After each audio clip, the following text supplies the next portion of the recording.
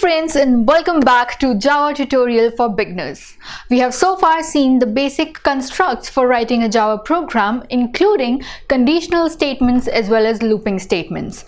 And from this video onward we will start introducing you to the concepts of object-oriented programming.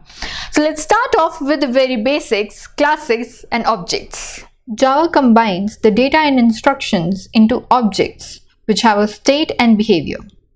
In Java, you can represent any tangible or non-tangible real-world entity as object, for example, cars, humans, library system, etc.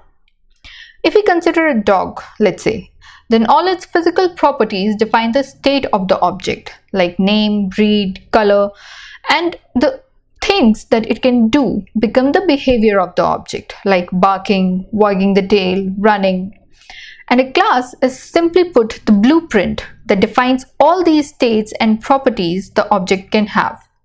So object is simply put the instance or result of a class.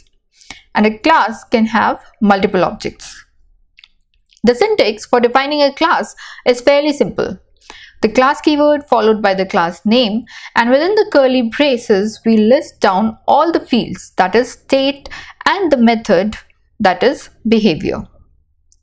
Now if you have to create an object of this class, we use the new keyword and the syntax is as shown. Now if you think of a batsman, every batsman would have these common details like name, run scored, balls faced, fours, sixes, centuries, half centuries. So all these properties of batsman become the fields of the batsman class.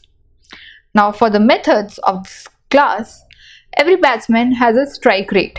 So we can have one method to calculate the strike rate of the batsman. Another method to get runs scored and boundaries. And of course, we need a method to set all values of the class fields. Let's call it set data. So that's about classes and objects guys. We'll introduce you to some important classes that are present in the Java library in the upcoming few videos. See you in the next one.